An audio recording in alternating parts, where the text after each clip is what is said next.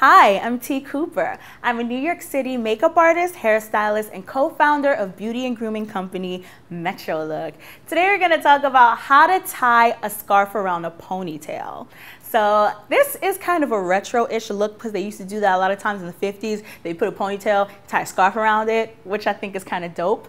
So I'm going to use an animal print scarf because that's the kind of girl I am. And as you can see, my model already has a ponytail in there. And a lot of times when I do ponytails, I wrap the hair around the base because this is a pet peeve of mine. I don't like to see the holder showing. But since we're gonna use a scarf, there's no need. So I'm gonna start from underneath. And I'm just gonna go around it a couple times because this is a pretty long scarf. But she's got a lot of hair, so it's all good. And then now that I'm left with just the tail end of this, just enough, I'm gonna make a knot and then I'm gonna let it go.